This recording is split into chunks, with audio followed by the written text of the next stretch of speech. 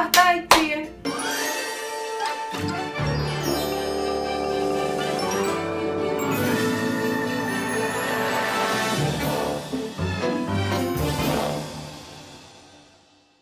Oi gente, meu nome é Thalita e hoje nós vamos dar continuidade ao que? Aquele nosso projeto de discussão, aquele projeto Maravicherry que nós começamos aqui nesse canal que chama Bora Conversar? Nós hoje vamos conversar sobre um assunto que tá me incomodando um pouquinho aqui no coração. É como se fosse um desabafo, talvez? Talvez. Aproveitando esse mês de março, que é o mês que a gente comemora o Dia Internacional da Mulher, eu gostaria muito de conversar com vocês sobre o papel que a mulher deve exercer nessa sociedade que a gente vive hoje. Todo mundo sabe que nós mulheres estamos aí desbravando o mundo. Nós já tentamos fazer vários tipos de movimento, estamos aí falando para as pessoas que, olha, eu trabalho igual o cara lá, então tenho que receber igual o cara lá. Estamos aqui com vários tipos de discussão, essa é a verdade. Finalmente, eu acho que depois de tanta luta, de tanta coisa, de tanta discussão, a gente está começando a acordar para alguns assuntos. O problema é que a gente tem dentro da gente, nós mesmas, mulheres, temos dentro da gente preconceitos tão antigos e tão profundos que já meio que fazem parte do que a gente é hoje, infelizmente. Uma das coisas que eu já falava muito tempo atrás e que sempre me incomodou bastante foi a questão da mulher ser vista como uma futura mãe.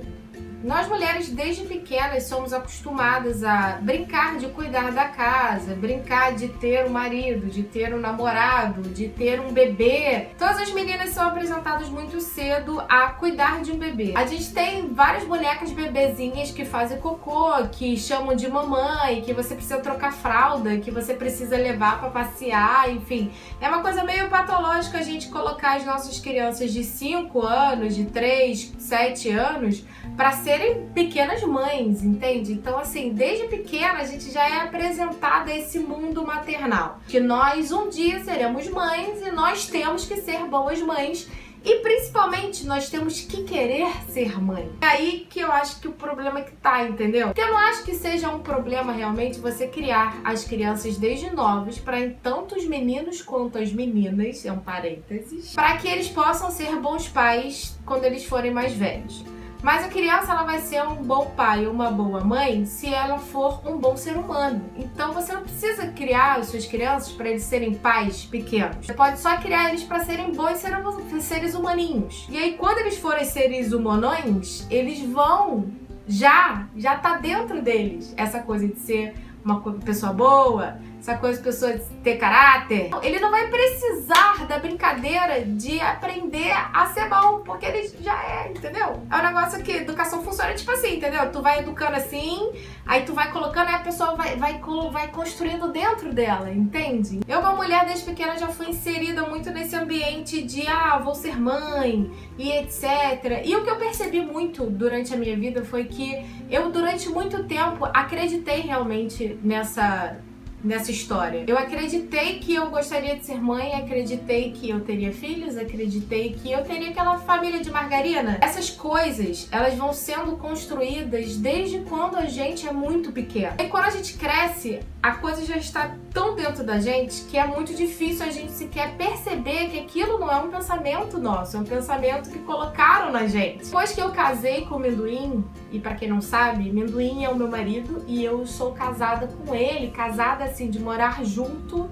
Nós já estamos há seis anos e juntos mesmo, desde namoro, a gente vai fazer 14 anos juntos esse ano. Sente a minha pressão. E todo mundo sempre me pergunta assim: Ué, mas você não, não quer ter filhos? Mas você ainda não teve filhos? Uma revelação bombástica é: Eu não sei se eu quero ter filhos.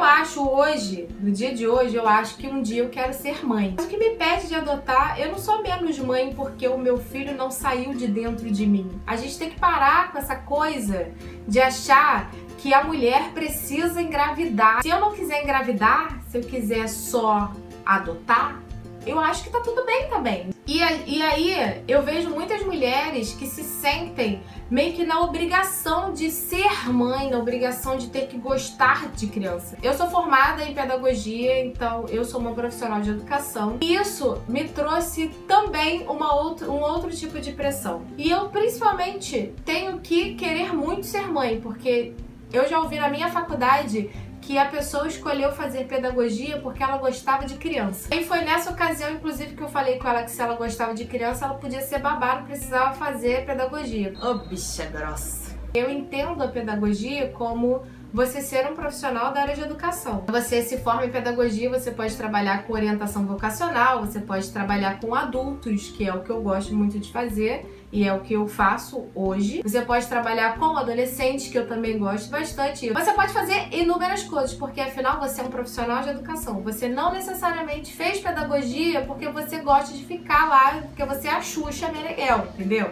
E nem a Xuxa é isso tudo não, porque tem vários vídeos na internet do Senta lá, Cláudia, então, que nem ela tem paciência com essas crianças mal educadas, gente. O assunto, na verdade, aqui é parem de pressionar as mulheres para que elas sejam mães. Essa pressão é uma pressão que a gente já precisa desconstruir sozinha. A gente não precisa da nossa família falando que a gente precisa ter um filho amanhã.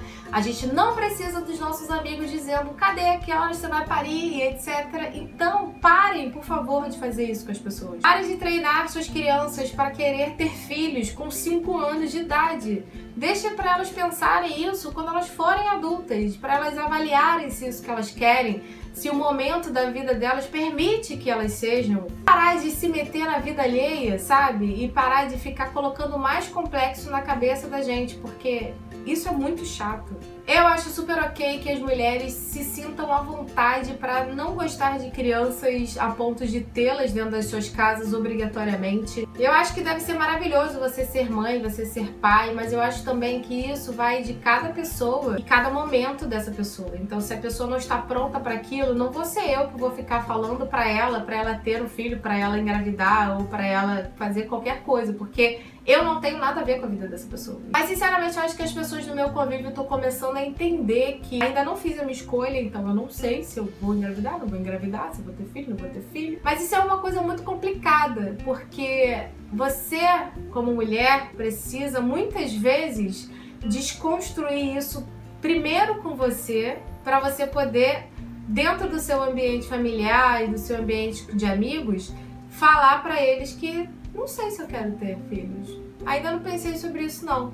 E as pessoas no geral ficam muito chocadas do tipo, ué, como assim? Você não vai ter filho? Por que as pessoas não fazem isso com os homens? Porque eles simplesmente podem engravidar todo mundo a vida inteira. A mulher tem tempo, né? Essa questão de tempo é uma questão que deixa todo mundo muito desesperado. Então, eu não tenho esse desespero. Então me deixa aqui quieta, tá bom? Acho que são duas mensagens principais desse vídeo de discussão e, e duas coisas que eu gostaria muito que vocês também conversassem aqui comigo, que a primeira coisa é sobre a educação das crianças pequenininhas, das pequenas meninas serem educadas para serem mães quando crescerem. E a segunda coisa é sobre a gente respeitar a escolha de cada mulher, porque tem mulher que quer ter filhos ou mulheres que não querem ter filhos e a gente realmente não tem nada a ver com a vida delas e a gente não tem que ficar dando pitaco na vida dos outros. Então eu queria saber o que, que vocês acham sobre esses temas. Eu sei que são temas um pouco polêmicos, talvez. Então me conta aqui embaixo qual é a opinião de vocês sobre essas coisas que eu falei aqui. E se você também é uma mulher, me conta se você também teve esse tipo de educação que a gente é criado para poder né, ter nossos bebês. Ou se você enfrenta essa pressão de todo mundo falando que você precisa engravidar amanhã e ter um filho, e parir, etc. Me conta aqui como é que é essa sua vida aí. Compartilha comigo porque eu também tenho essa pressão aqui no meu ambiente. E também, se você gostou desse vídeo, não esquece de deixar o seu curtir aqui embaixo. Se inscreve no canal para novos vídeos. Eu pretendo fazer mais discussões sobre as coisas aqui, então me conta se você gosta desse tipo de vídeo também. E nos vemos então no próximo. Eu espero que vocês estejam por aqui, hein? Não me deixe que não, tá bom? Então tá bom, gente. Nos vemos então no próximo vídeo. Um beijo